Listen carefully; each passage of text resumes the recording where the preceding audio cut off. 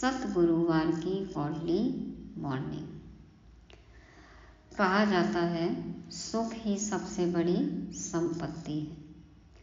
क्या आज सबके पास ये संपत्ति है? हुँ? सब खुश और शांत हैं? नहीं। क्यों? क्योंकि रावण ने सबका दिवाला निकाला हुआ है। माना अपने ही पाँच विकारों के कारण आज हर मनुष्य आत्मा दुखी, परेशान और असंतुष्ट है। क्या करना चाहिए ऐसी स्थिति में? बाबा ने हमें मुरलियों में समझाया है। तो हज़ारों धन्यवाद है शिव बाबा का, जिन्होंने हमें सुखी बनाया।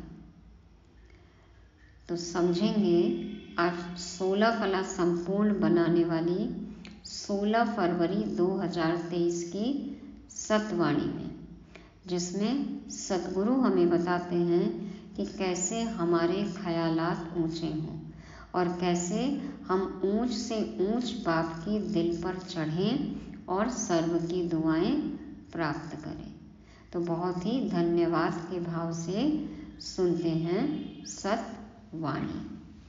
मीठे बच्चे इस समय सभी के सुख संपत्ति का देवाला रावण पाँच विकारों ने निकाला है।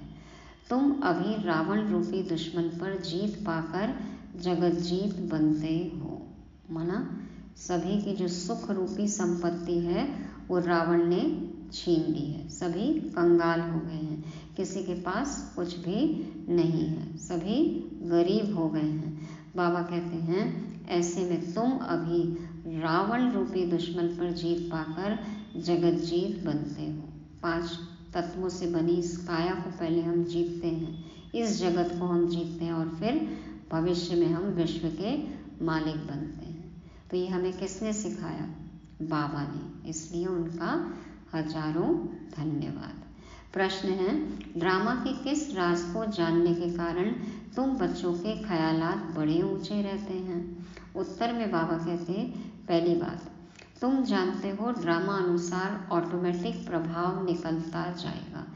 फिर भक्तों की भीड़ लगेगी, उस समय सर्विस नहीं हो सकेगी। अभी तो बाबा बुला रहे हैं, लेकिन बहुत कम बच्चे हैं जो बाबा को पहचान रहे हैं। लेकिन जब प्रत्यक्षता होगी, तब तो भक्तों की भीड़ आएगी ना तो उस समय तो चाह कर भी हम सेवा नहीं कर सकते हैं। तो बाबा कहते हैं, उस समय सर्विस नहीं हो सकेगी। दूसरा जो बाबा के बच्चे दूसरे धर्मों में कन्वर्ट हो गए हैं, वो निकल आएँगे। इसलिए तुम्हारे ख्याल बहुत ऊँचे रहते कि कहाँ से कोई निकले जो बच्चा बन बेहद बाप से अपना वर्षा ले। तुम्हें यह ख्याल नहीं रहता कि कोई निकले जो पैसा दे। लेकिन शिव बाबा पढ़ाते हैं, या निश्चय बैठे और बाबा से वर्षा लेने के लिए भागे। बाबा को कोई पैसे की ज़रूरत है?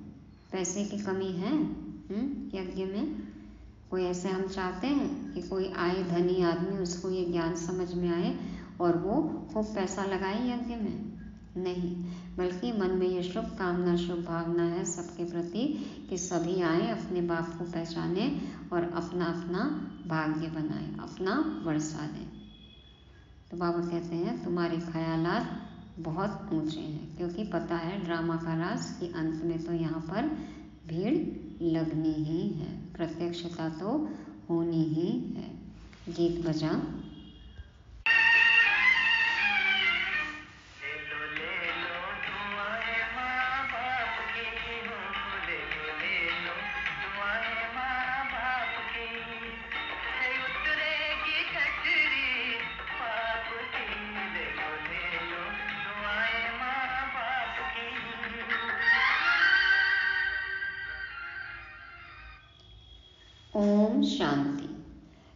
को सर्विस भी कहते हैं।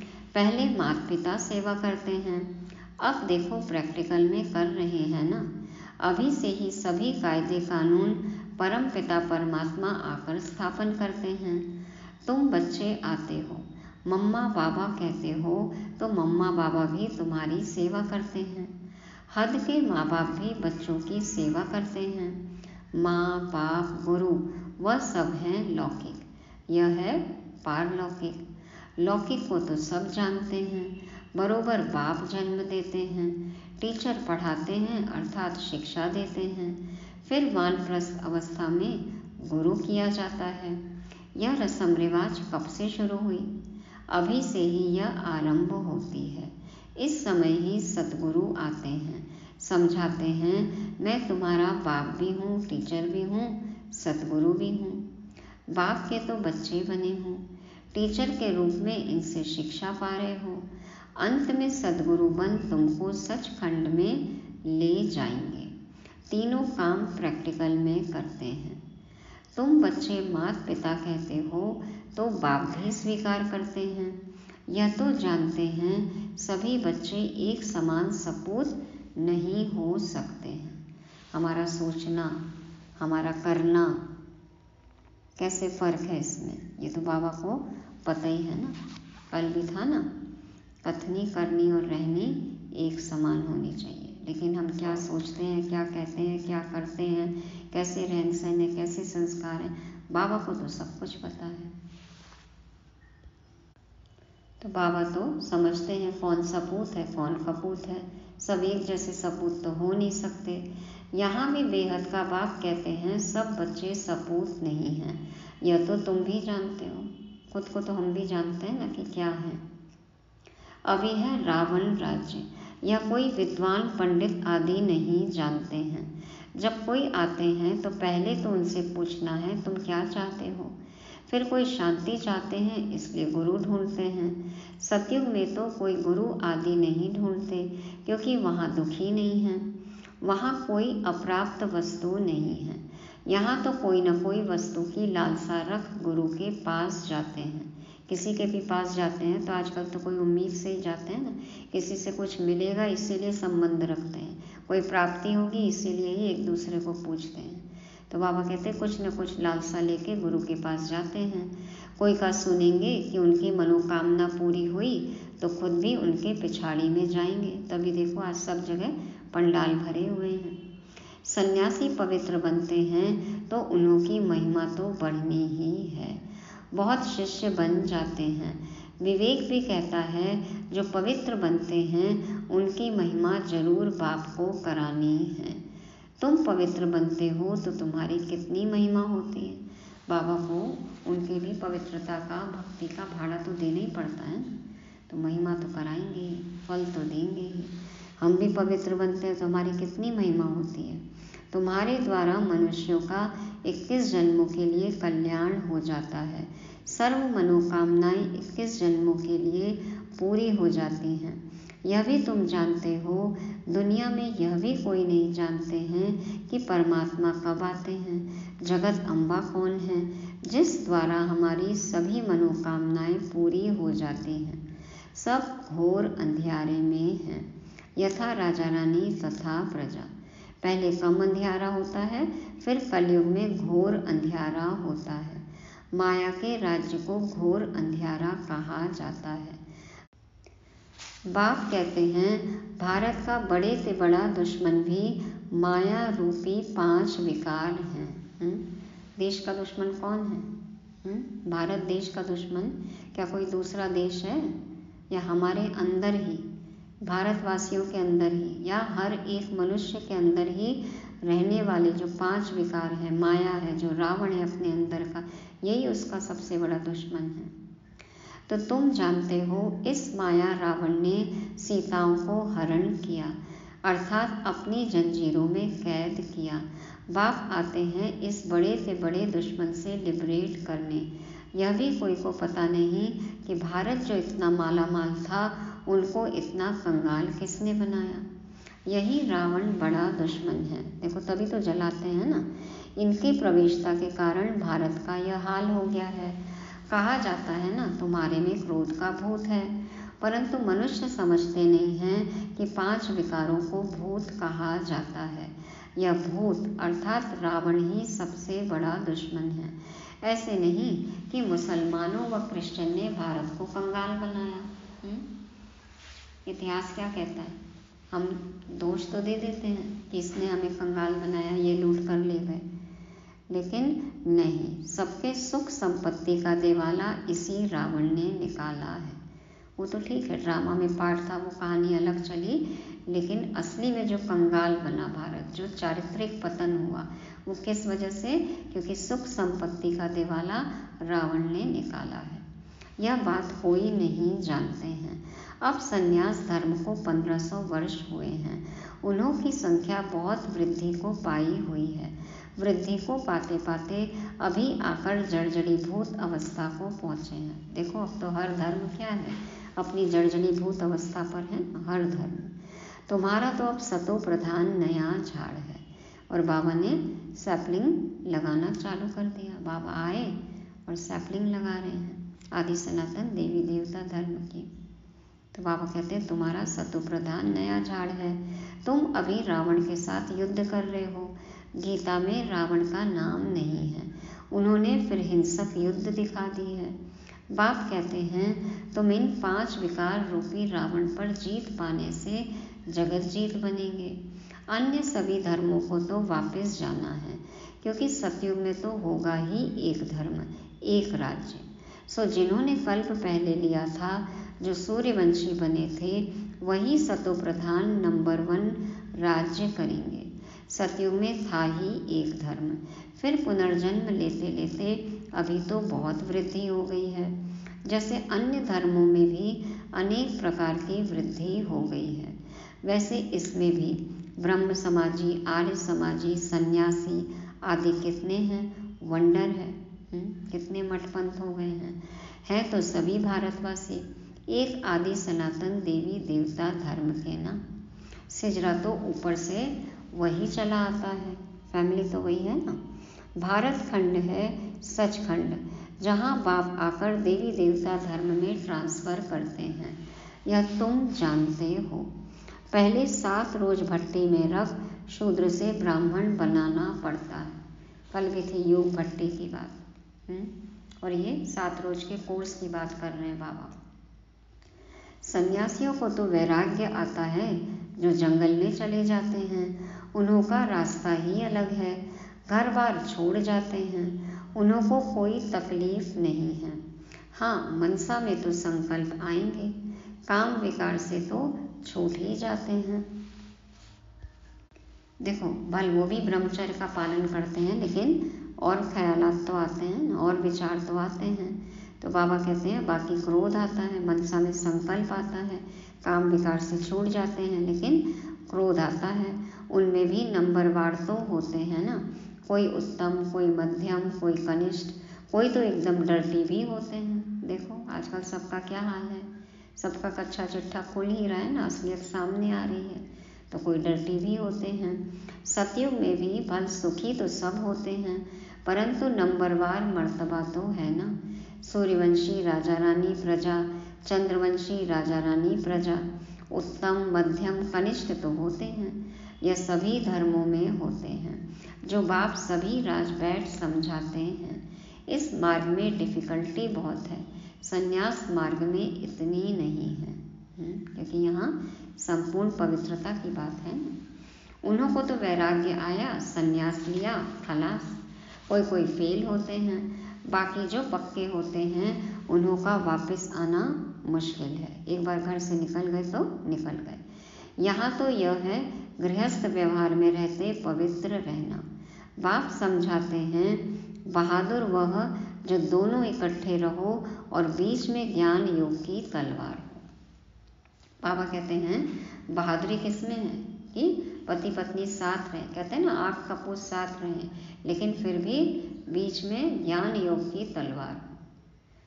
विकार न हो, मन में विकारी संकल्प न हो। तो बाबा कहते हैं, जो पक्के हैं सन्यासियों में भी, वो भी पूरी पवित्रता का पालन करते हैं। लेकिन यहाँ पे साथ रह के पवित्र रहने की बात बाबा करते हैं। इसलिए बाबा कहते हैं, वो बच्चे बहादुर है, जो बीच में ज्ञान योग की तलवार रखते हैं, जिनको समझ है कि हमें कमल फूल समान पवित्र रहना है घर गृहस्थी में। ऐसी एक कहानी भी है कि उसने कहा कि घड़ा भल सिर पर रखो, परंतु तेरा अंग मेरे अंग से न लगे, अर्थात विकार की भावना न हो। कितनी कहानियाँ ना कि भले आप घड़ा मेरे सर पर रख दो, लेकिन छूना नहीं, अंग से अंग न लगे। अर्थात विकार की भावना न हो। उन्होंने फिर शरीर समझ लिया है। बात सारी विकार की है, अर्थात नगन नहीं होना है। काम अग्नि में जलना नहीं है। माना विचार भी नहीं हो। खाली ये नहीं कि शारीरिक पवित्रता। मन से भी नहीं, संकल्प में भी अपवित्रता न हो और कोई भी तरह का विकार न हो। तो बाबा कहते हैं, बात सारी विकार की है, अर्थात नगन नहीं होना है। काम अग्नि में जलना नहीं है। बड़ी मंजिल है तो प्राप्ति भी बहुत बड़ी है। सन्यासी पवित्र बनते हैं तो उन्हों को भी कितनी प्राप्ति है। बड़े बड़े महामंडलेश्वर बन बैठे हैं, महलों में रहते हैं। बहुत लोग जाकर पैसा रखते हैं। देखो, कितने पैसों में, कितने अनाज में और महँगी महँगी चीज़ों में उनको तोलते हैं। तो महिमा तो है ही उनकी। आते हैं ना बड़े बड़े महामंडलेश्वर आबू में। देखो, दादियों के सामने झुकते हैं। तो बाबा कहते हैं कि बहुत लोग जाकर उनके आगे पैसा रखते हैं, उनके चरण धोकर पीते हैं। बहुत महिमा होती है। परंतु नंबर वन महिमा है ईश्वर की। वही स्वर्ग का रचयिता है। वहाँ माया का नाम निशान नहीं रहता। सन्यासी भी यह नहीं समझते कि माया पाँच विकार है। सिर्फ़ पवित्र रहते हैं। उन्हों का ड्रामा में यही पार्ट है। उन्हों का है ही हठ योग संन्यास। तुम्हारा है राजयोग संन्यास। वह राजयोग तो सिखला न सके। वह है शंकराचार्य और यह है कौन है यहाँ पर शिवाचार्य, है ना? शिव बाबा हमारा आचार्य, हमें आचरण सिखाने वाला। तो तुम भी परिचय देते हो, हमको भगवान आकर पढ़ाते हैं। वह तो ज़रूर स्वर्ग का मालिक बनाएगा। नर्क का तो नहीं बनाएँगे। वह रचता ही स्वर्ग का है तो गृहस्थ में रहकर पवित्र रहना, इसमें ही मेहनत है। गृहस्थ में रहकर पवित्र रहना, ये तो मेहनत की बात है ना। कन्याओं को शादी बिगड़ रहने नहीं देते हैं, आगे विकार के लिए शादी करते थे। अब विकारी शादी कैंसिल कर ज्ञान चिता पर बैठ पवित्र जोड़ा बनते हैं। कई कई को जिनको ज्ञान समझ में आता है या संस्कार जिनके अच्छे हैं तो वो क्या करते हैं? विकारी शादी नहीं करते हैं। पवित्र जोड़ा बनते हैं, माना अंडरस्टैंडिंग से वो एक साथ रहते हैं। तो बाबा कहते हैं तो अपनी जाँच करनी होती है कि माया कहाँ चलायमान तो नहीं करती है। मन में तूफ़ान तो नहीं आते हैं। भल मन में संकल्प आते हों परंतु कर्मेंद्रियों से विकर्म कभी नहीं करना। भाई बहन समझने से, ज्ञान चिता पर रहने से काम अग्नि नहीं लगेगी। एक दूसरे को भाई बहन समझना है। हम आत्मा आत्मा भाई भाई हैं, एक पिता की संतान हैं। तो कैसे हम विकार में जा सकते हैं? बाबा कहते हैं, बल संकल्प में कभी आता भी है, लेकिन कोशिश यही करना है कि कर्म में कभी ना आए, विकर्म नहीं करना है। फिर धीरे धीरे संकल्पों पर ध्यान रखेंगे तो वो भी आने बंद हो जाएँगे। बाबा कहते हैं, ज्ञान चिता पर रहने से काम अग्नि नहीं लगेगी। अगर आग लगी तो अधोगति को पालेंगे। यूँ तो सारी दुनिया भाई बहन है, परंतु जब बाप आते हैं तो हम उनके बनते हैं। अभी तुम प्रैक्टिकल में ब्रह्मा मुख वंशावली हो। तुम्हारा यादगार भी यहाँ है। अधर कुमारी का मंदिर भी है ना, देखो दिलवाड़ा भी है, अधर कुमारी भी है, गुरु शिखर भी है तो सब कुछ है। जो काम चिता से उतर, ज्ञान चिता पर बैठते हैं, उनको अधर कुमारी कहा जाता है। ना जो अपवित्रता की सीढ़ी चढ़ गए, लेकिन फिर उतरते हैं और फिर पवित्रता की सीढ़ी चढ़ते हैं। तो उनको अधर कुमारी, अधर कुमार कहा जाता है, जो युगल हो गए पहले और फिर अब ज्ञान चिता पर बैठे हैं। तुम सन्यासियों को भी समझा सकते हो। बाकी कोई से फालतू माथा नहीं मारना चाहिए। पात्र जिज्ञासु होगा, वह तो अकेला आकर प्रेम से समझेगा, जिसको रियली भगवान की खोज होगी, बाबा की बातें समझ में आएँगी तो वो तो अकेले में भी आके समय लेके पूरी बात गहराई से समझेगा, प्यार से समझेगा। कई हँसी उड़ाने के लिए भी आते हैं, इसलिए नब्ज देख ऐसी दवाई देनी चाहिए। तो पता तो चल जाता है ना कि कौन मज़ाक उड़ा रहा है और कौन सीरियस है। तो बाबा कहते हैं नब्ज देख कर दवाई दो। बाप ने कहा है, पात्र को दान देना है। ये ज्ञान रत्न इसको वेस्ट नहीं करना है हाँ? ऐसे ही नहीं लुटा देना है। वेस्ट नहीं करना है ना? लुटाना तो है जहाँ यूज़ हो। बताना काम है, लेकिन फिर फोर्स नहीं करना है, ज़बरदस्ती नहीं करना है, थोपना नहीं है। बाबा कहते हैं, नब्ज देखकर दवाई दो। पात्र जिज्ञासु होगा तो अपने आप पहल करेगा, आगे बढ़ेगा। आजकल दुनिया बहुत खराब है। सन्यासी लोग तो कफनी पहन लेते हैं और जाकर अलग रहते हैं। कुछ न कुछ मिल जाता है। मज़े से खाते पीते रहते हैं। आजकल उन्हों का प्रभाव है ना? तुम्हारे में भी जो अच्छी सर्विस करते हैं तो उन्हों की महिमा से औरों की भी महिमा निकल पड़ती है। जो बच्चे अच्छी सर्विस करते हैं तो सब कहेंगे, इनके माँ बाप भी ऐसे होंगे। अब हमको देख के ही तो बाबा की प्रत्यक्षता होगी ना? तो इस लायक हम बने हैं। हुँ? बाबा कहते हैं, मेहनत ज़रूर करनी है। सन्यासियों को तो घर बैठे वैराग्य आ जाता है तो हरिद्वार चले जाते। वहाँ कोई गुरु कर लेते। यहाँ की रस्म ही निराली है। इनका कहाँ वर्णन है ही नहीं। यहाँ की रस्म का कहीं वर्णन है? हम तो देखो, सच्चे सच्चे हरि के द्वार पर बैठे हैं। हाँ भगवान के द्वार, भगवान के घर पर हैं। तो बाबा कहते हैं कि कोई गुरु कर लेते हैं, लेकिन यहाँ की रस्म निराली है। यहाँ तो सच्चा सच्चा सदगुरु है ना? तो इनका कहाँ वर्णन है ही नहीं। गीता को ही झूठा बना दिया है। या पहली बात खुल जाए तो सब बीके बहुत नामी ग्रामी हो जाए। सब तुम्हारे पर सदके जाए मतलब बलिहार जाए। प्रभाव निकलना तो है ना? होना तो नहीं पता तो सबको लगेगा कि सच्ची सच्ची गीता शिव बाबा ने सुनाई। तो अभी तो तुम्हारा बहुत सामना करते हैं, अभी तो बात काटते हैं ना। पहले मज़ाक उड़ाते हैं, विरोध करते हैं और फिर बाद में एक्सेप्ट करेंगे। तो बाबा कहते हैं, अभी तो बहुत सामना करते हैं। पहले तो घर के ही दुश्मन बनते हैं, आसपास वाले परिवार वाले ही पहले विरोध करते हैं। इस बाबा के भी कितने दुश्मन बने। यज्ञ का इतिहास यदि हम पढ़ें तो हर एक आत्मा ने देखो कितनी परीक्षा दी है। ब्रह्मा बाबा के ही कितने दुश्मन हो गए थे। जान लेने तक आ गए थे। तो बाबा कहते हैं, श्री कृष्ण के लिए भी कहते हैं ना भगाता था, कितने कलंक लगाए हैं। बाबा के चरित्र पर भी लाछन लगाया। तो यह भी ड्रामा में नूंद है। ड्रामा अनुसार ऑटोमेटिकली प्रभाव निकलता जाएगा। और अब तो देखो, सब एक्सेप्ट कर रहे हैं, आ रहे हैं। फिर भक्तों की भीड़ आकर होगी, परंतु भीड़ में फिर सर्विस हो नहीं सकेगी। सन्यासियों के पास भीड़ होती है तो वह खुश होते हैं। यहाँ तुम जानते हो कोटों में कोई निकलेगा। यहाँ क्वांटिटी की बात नहीं है क्वालिटी की बात है।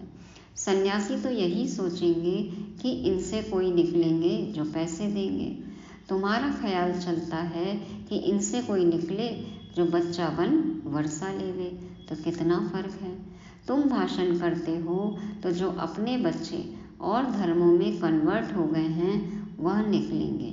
कोई आर्य समाज से, कोई कहाँ से निकल आते हैं? देखो 140 देशों से बाबा के बच्चे निकल निकल कर आ रहे हैं, हर धर्म के।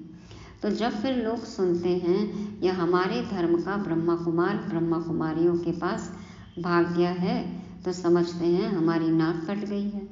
इसमें समझाने की बड़ी युक्ति चाहिए। पहले तो बाप का परिचय देना है। भल कोई लिख कर भी देते हैं। बरोबर शिव बाबा पढ़ाते हैं, परंतु उसमें खुश नहीं होना है। निश्चय बिल्कुल नहीं बैठा है। भल कई बच्चे पत्र भी लिखते हैं, परंतु बाबा लिख देते हैं, तुमको निश्चय बिल्कुल नहीं है। खून से भी लिखकर बाबा को दिया, लेकिन देखो, खून पानी हो गया। या इनविजिबल स्याही थी, उड़ गया। छोड़कर चले गए बाबा को। तो बाबा को तो पता है ना कौन टिकेगा, कौन नहीं टिकेगा। तो बाबा कहते हैं कि बाबा को पता है, लेकिन बाबा कहते हैं कि तुमको निश्चय बिल्कुल नहीं है। निश्चय बैठे। मोस्ट बिलीवेड बाप से वर्षा मिलता है तो एक सेकंड भी ठहरे नहीं। वाकई यदि पक्का निश्चय है तो फिर हम टाइम वेस्ट करेंगे इधर उधर कहीं जाएँगे? विवेक कहता है कि गरीब झट भागेंगे। माना फिर रुक नहीं सकते। बाबा के बने बिना खुद को रोक नहीं सकते हैं गरीब तो झट से आएँगे। साहूकार कोई बिरला निकलेगा, साधारण कुछ निकलेंगे। कोई भी आए बोलो यह राजयोग की पाठशाला है। जैसे डॉक्टरी योग है, वैसे यह राजयोग है, जिससे राजाओं का राजा बनना है। डॉक्टरी योग है, वैसे ये राजयोग है। पढ़ाई करते हैं। देखो, मेडिकेशन भी, वो भी एक मेडिटेशन जैसा है। कोई भी यदि इस तरह के प्रोफेशन है, जिसकी पढ़ाई करते हैं तो उसको भी कितना सीरियसली लेते हैं लौकिक में, जो पढ़ने वाले बच्चे हैं। तो बाबा कहते हैं, ये तो राजयोग है, इससे हम क्या बनते हैं? राजाओं का राजा बनते हैं। हमारा एम ऑब्जेक्ट है ही मनुष्य से देवता बनना। तो हम तो क्या हैं? डबल डॉक्टर हैं? एक तो रूहानी सर्जन हो गए, और फिर आत्मा परमात्मा की पीएचडी करा दी बाबा ने, बिल्कुल। सृष्टि के आदि मध्य अंत का ज्ञान दे दिया हमने।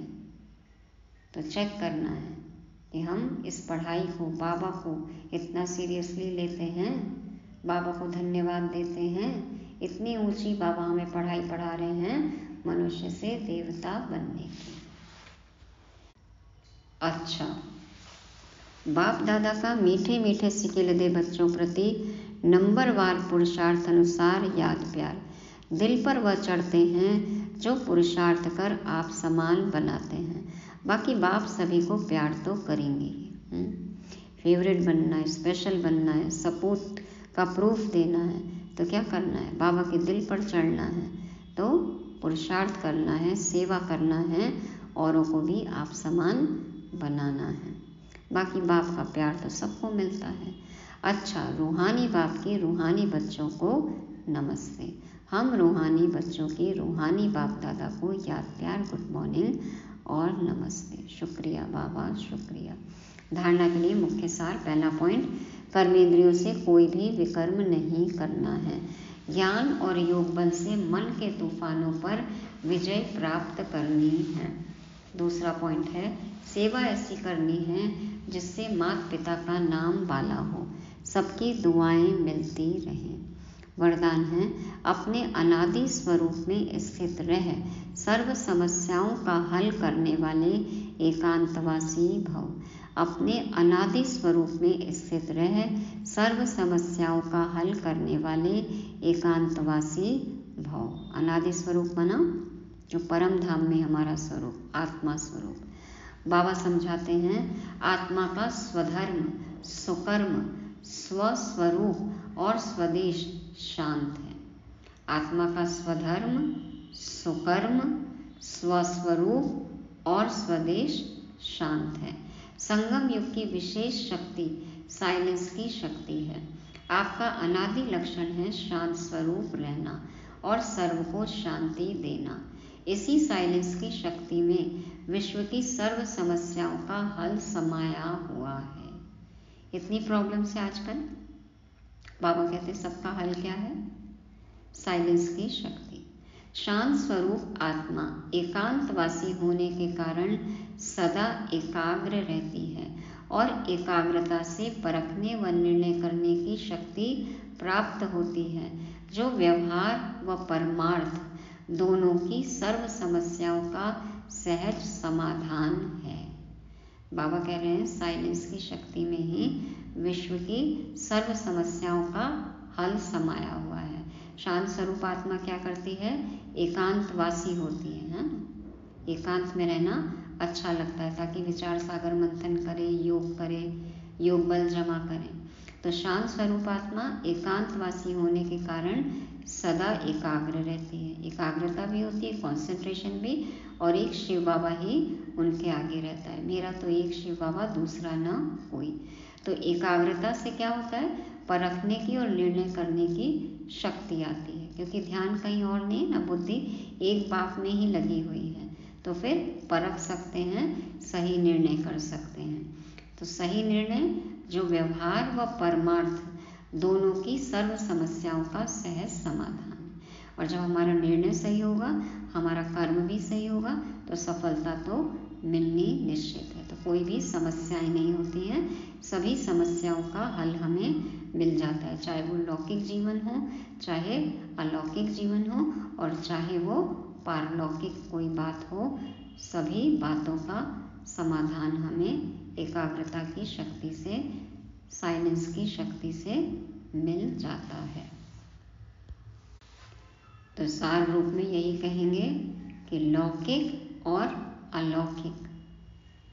बाबा की जो सेवा है, उसमें भी यदि कोई समस्या आती है तो बाबा कहते हैं, उसमें सफलता हमें आत्मिक स्वरूप में टिकने से सहज ही मिल जाती है।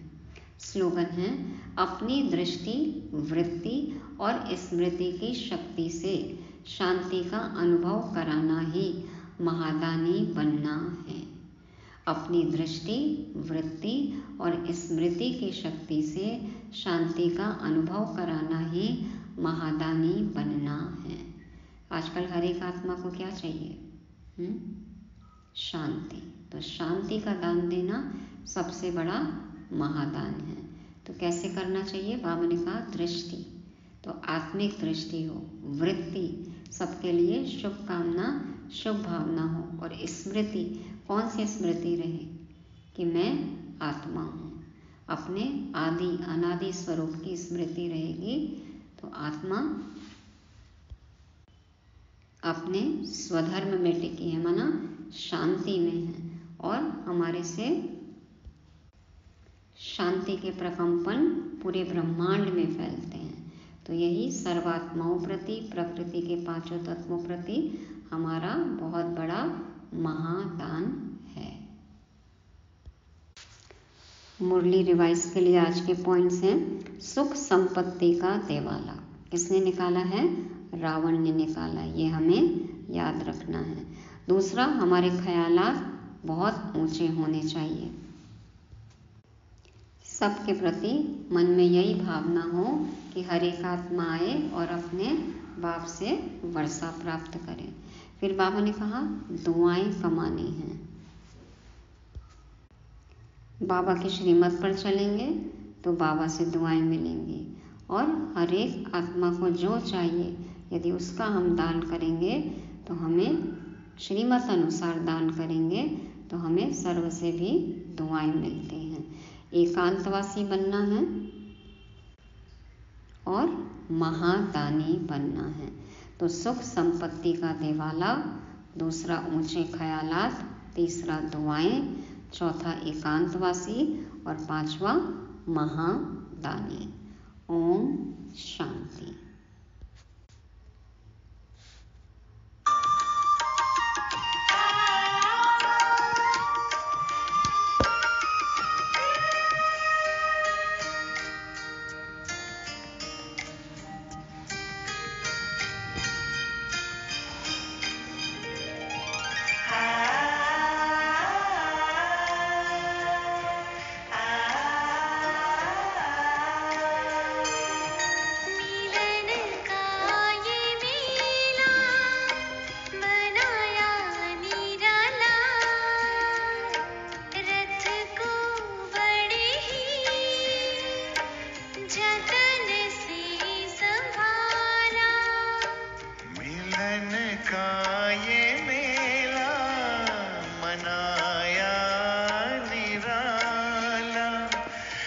बड़े